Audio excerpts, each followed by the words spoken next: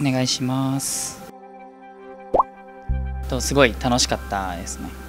なんか今まで経験してなかったようないろんなことに挑戦できたので良かったです。はい。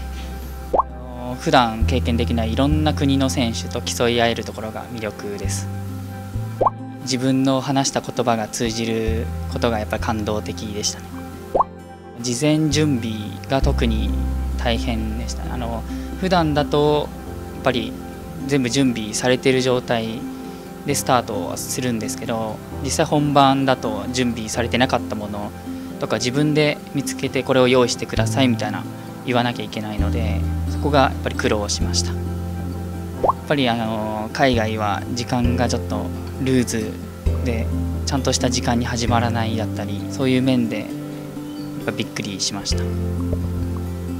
と同じ職種の中だとちょっとライバル視が多くてあまり喋れなかったんですけど他の職種の選手とオープニングセレモニーの前だったりとかには交流はできました。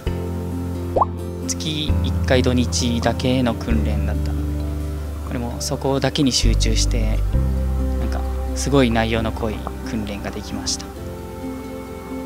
なんか海外ならではだと思うんですけどあの